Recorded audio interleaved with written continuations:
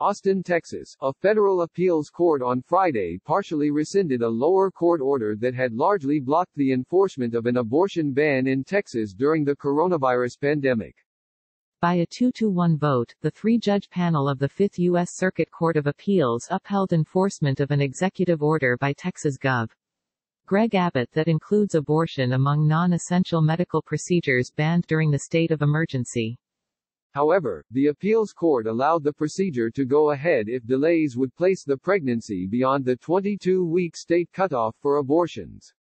The ruling was agreed to by Judges Jennifer Walker Elrod, an appointee of President George W. Bush, and Kyle Duncan, an appointee of President Donald Trump.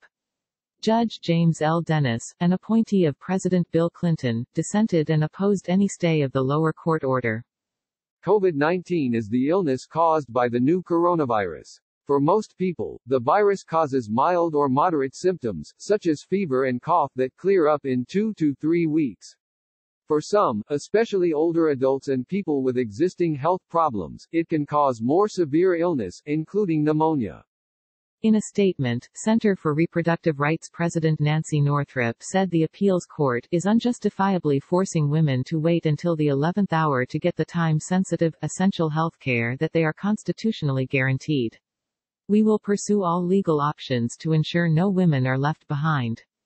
U.S. District Judge Lee Yeakel of Austin had blocked the total ban in Abbott's executive order last week, but the appeals court overturned that order when the state appealed. Planned Parenthood and other women's clinics then asked the Austin judge to allow non-surgical abortions by medication or abortions if delay would take a pregnancy beyond the 22-week state legal barrier. Yeakel granted that request Thursday, but the state appealed immediately again. Abbott's original March 22 order was to expire April 21 but can be extended.